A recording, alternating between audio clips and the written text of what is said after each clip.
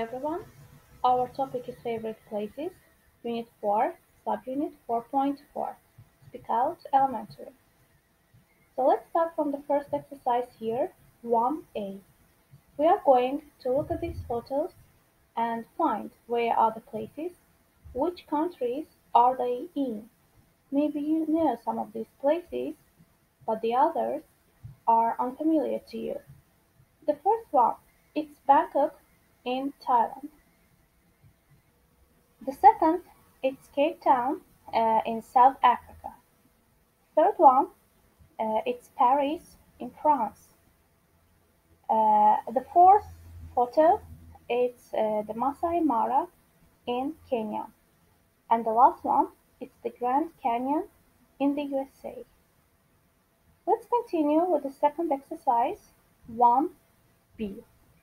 Here we are going to match these phrases, these sentences, with uh, from 1 to 5 with photos from A to E. But uh, before matching these sentences with the photos, let's find the meaning, the definition of uh, some words. Let's start from the first one, art galleries. So, what is an art gallery? Uh, art gallery, as you see here, uh, it's a building where works of art can be seen by the public. So it's an art gallery. Our next word is temple. Temples. So what is a temple? Um, as we see here, see it's it's a temple. Um, it's a building that is used for a worship of a god in uh, some religions. For example, in Buddhism. Now, our next word is nightlife. What is nightlife? Maybe you know this word. It's entertainment or social activities uh, that uh, happen in the evening, especially in bars and clubs. And now we are going to our next word. It's awesome. Awesome means extremely good. For example, if I say that, for example, the Grand Canyon is awesome, uh, it, it means it's extremely good. So I want to say it's an awesome place. Now let's match these sentences with the photos. Um, the first one is given here. It's a romantic city with a lot of art galleries. It's the photo C. Uh, Paris, you know, Paris, uh, it's a romantic city and it's famous for its art galleries. Um, the second one, they are beautiful views of mountains and beaches. As we see here, the view of mountains and beaches is uh, is shown in the picture B. So we see the view of mountain and view of the beaches. So this is the picture. It's Cape Town in South Africa. Photo B. Number 3. You can visit hundreds of temples and the shopping and the nightlife are great. So, as we mentioned, temple it's a building that is used for uh, worship of a god. So it's a sacred place, a sacred building in some religions, in Buddhism. And temple we see only in this photo, so it's photo A. 4. The colors are amazing. It's awesome. If we look at these photos, uh, in the photo E, we see that uh, the colors are really amazing and awesome. It's an awesome place. So 4 is E. And the last one, It's fantastic place to watch animals. You can see zebras, elephants, antelope, hippos, and lions.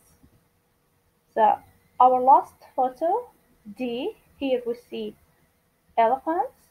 It's uh, the Masai Mara in Kenya. So it's the picture D. Now let's pass to our next um, exercise uh, number two. Here we have a DVD program about 50 places to see before you die. Uh, but before watching this program, let's read the program information. So, and try to answer these questions. 50 places to see before you die. There are so many places in the world to see, but if you want to visit 50 in your life, which do you choose? In this BBC program, we look at five places Bangkok, Cape Town, the Grand Canyon, the Masai Mara, and Paris. Watch the program and find out which is the number one place to see. Let's uh, answer these questions. How many places does this program look at? Uh, as we have read, uh, the answer of this question is uh, how many places? Five places. This program looks at five places. It's Bangkok, Cape Town, the Grand Canyon, the Masai Mara, and Paris. Uh, our next question, which place do you think is number one? Uh, in order to answer these questions, we have to watch this program about uh, places to see before you die. So let's watch this program and try to find out which place do you think is number one.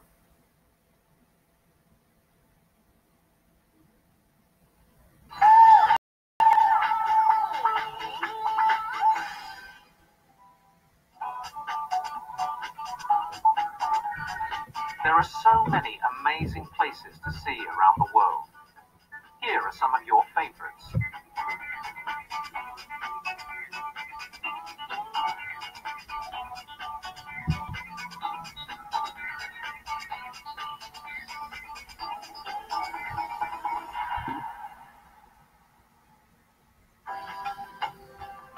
Welcome to Bangkok.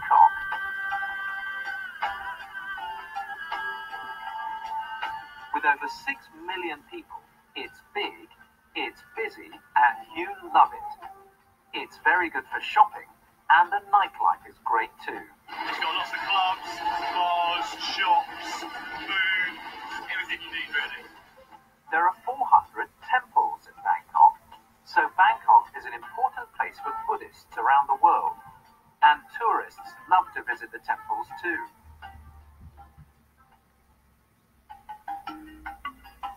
You also love the Masai Mara in Kenya. It's a fantastic place to watch animals. Zebras, elephants, antelope, hippos, and lions. You can see them all. So, why is it so special? Huge open spaces, fantastic animals, just wide open freedom, warmth, friendliness, and all underneath the great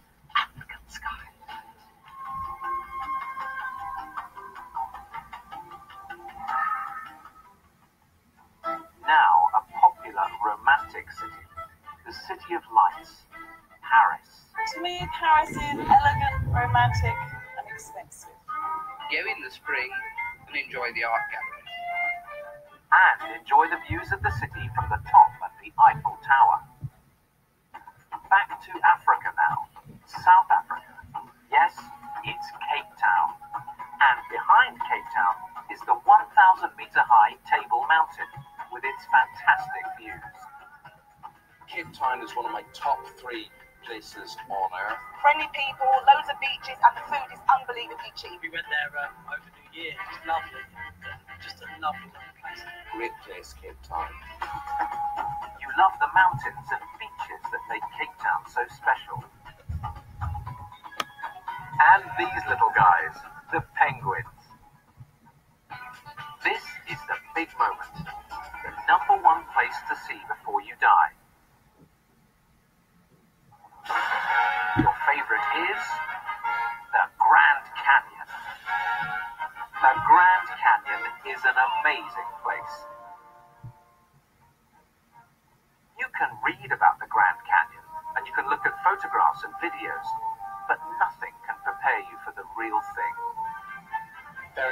to see that you never stop seeing something new.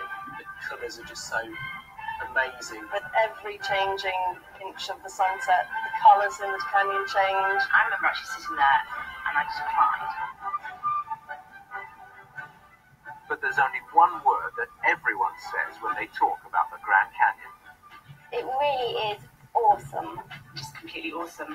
Awesome. Awesome is the word. It was awesome.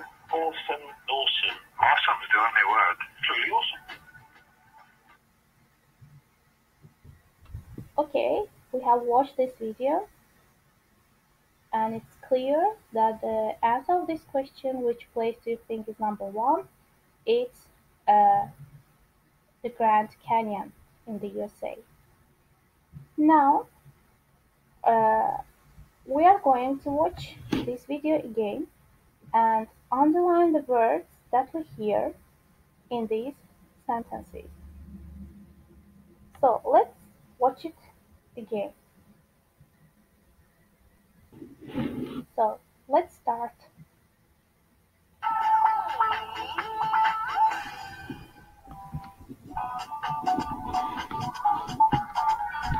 There are so many amazing places to see around the world. Here are some of your favorites.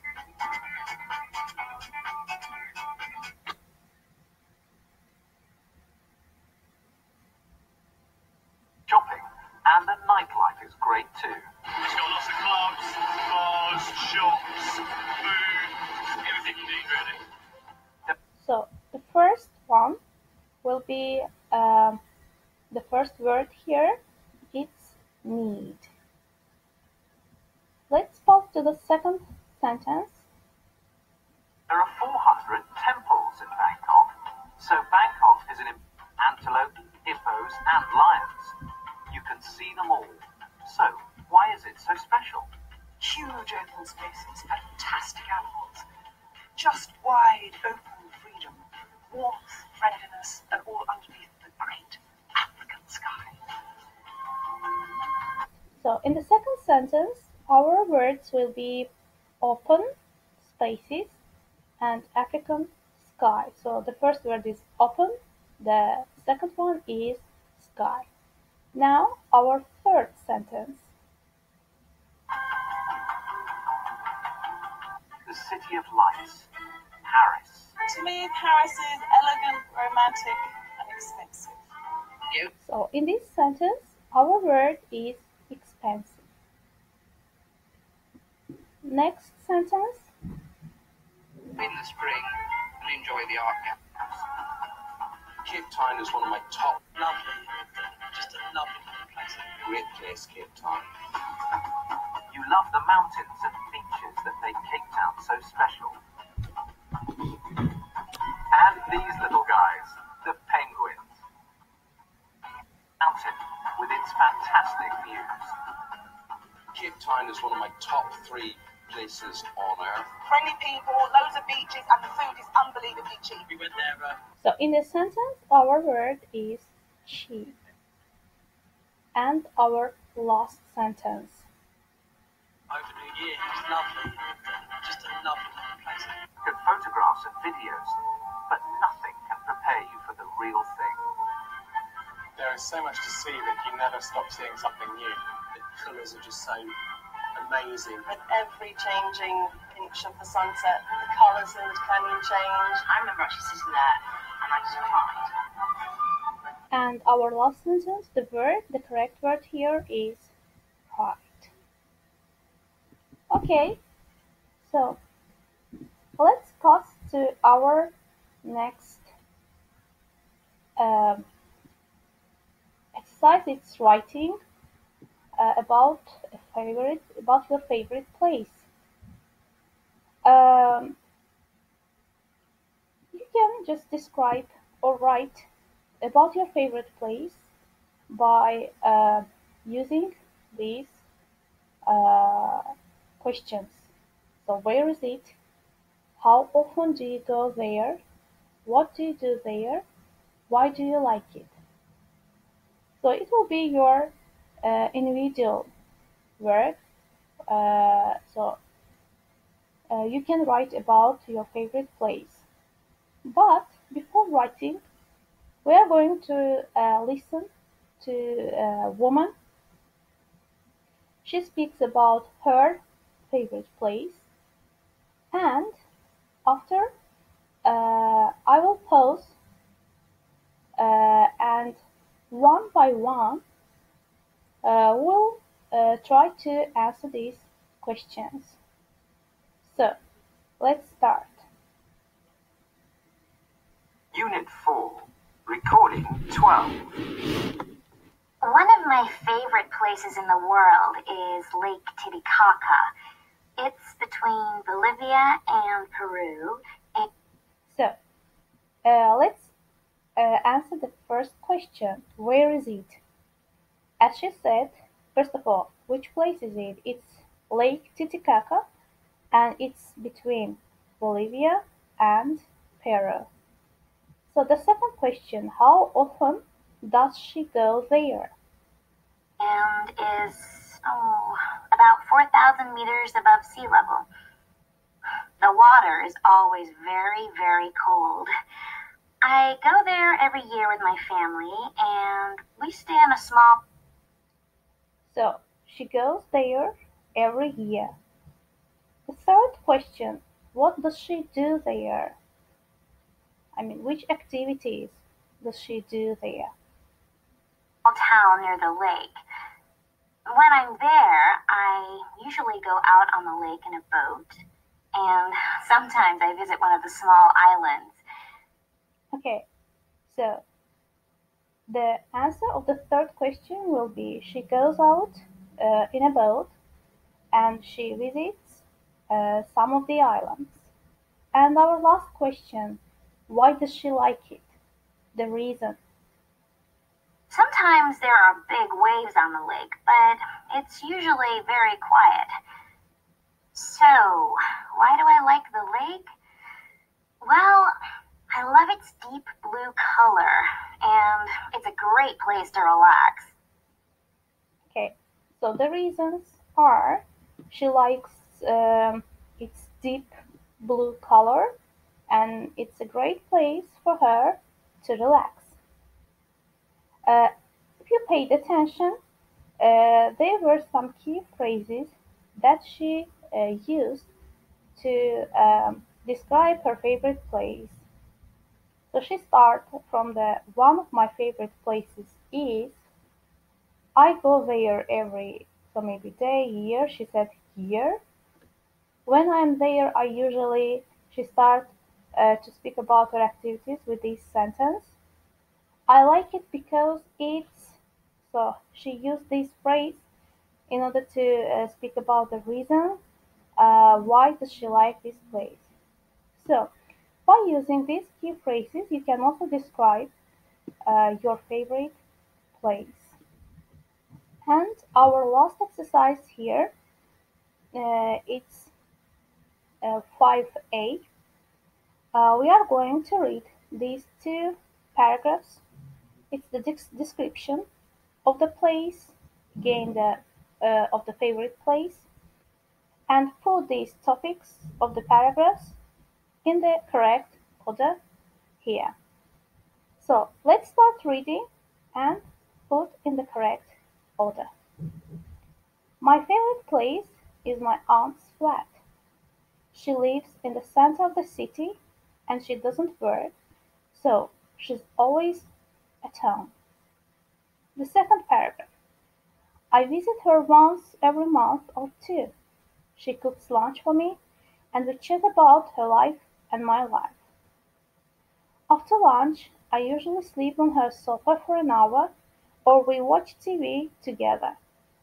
I sometimes take my work with me and sit her in her living room and do it, or read a book. I like it uh, because when I'm there, I remember my childhood. There is always a nice smell of her cooking. I always feel good there. Now, uh, it's your turn to uh, write about the description. Uh, uh, uh sorry. Now uh, we are going to um, put these paragraphs according in the correct order. Why do you like it? So, the reason why this person, why does this person like it, is given as we see in this paragraph. So we have here the reason I like it because so this phrase, this paragraph answer this question. So it's the uh, answer of this question. Uh, I like it because when I'm there, I remember my childhood. So here we can write number three. Uh, next question, what's the name of the place and where is it? So the name of the place and its location is given in the first paragraph. So my favorite place is my aunt's flat. She lives in the center of the city. So here we can write number one. And last one, how often do you go there and what do you do there? So here it's the last paragraph. Uh, the paragraph, the second paragraph. Uh, I go there, I visit her once every month or two. And what do you do there? So she uh, wrote about the activities. Uh, so uh, it's I sleep on her sofa, watch TV, and sometimes this person uh, takes his work with him. So this is activities that this person is doing. So here we can write number two. Okay, so thanks for watching and listening this lesson. Uh, now it's your turn to write about uh, to write a description of your favorite place. You can use these paragraphs and these questions uh, and at the same time these key phrases. All the best